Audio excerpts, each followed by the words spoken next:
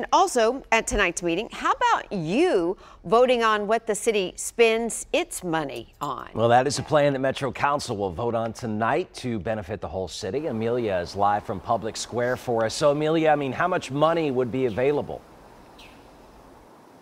Well, we're talking about a lot of money here. $10 million would be available for folks to choose what they'd like to see right here in Nashville. That could go to things like adding speed bumps in certain areas, bus shelters, maybe a mural, or even improving local parks. For the past two years, Mayor Cooper has been focusing this program in the Bordeaux area, and now he wants to make it a city-wide program. Now, there in Bordeaux, 3,000 in the community recently voted on 11 projects with a budget around $2 million to see in their area. Some of those include a new HVAC unit and practice field water unit at Pearl-Cohn High School, adding an interactive chalk wall to Hartman Park and beautifying the Bordeaux Gateway. A volunteer-led steering committee is now working with city leaders to move those investments forward. Mayor Cooper recognized the importance of letting taxpayers choose where money is going in their community, which is why the program could now be citywide. Of course, that resolution needs one vote to pass. That money, that $10 million, is coming from the American Rescue Plan. Just make sure to stay tuned to News Channel 5 tonight.